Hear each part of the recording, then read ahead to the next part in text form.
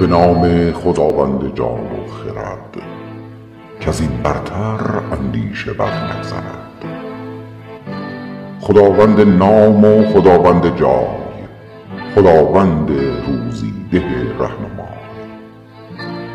خداوند کیوان و گردان سپهر فروزنده ماه و ناهید و ز نام و نشان و گمان برتر نگارنده برشده پیکر است.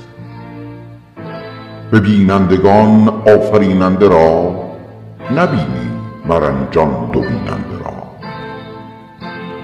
نیابد بدو نیز اندیشه راه که او برتر از نام و از جایگاه.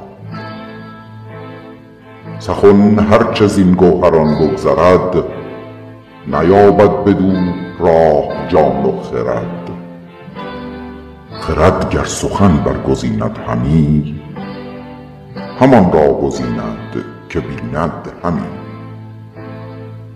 ستودن نداند کس او را چو هست میان بندگی را ببایدت بست. خرد را و جان را همی سنجد در اندیشه سخته کی گنجد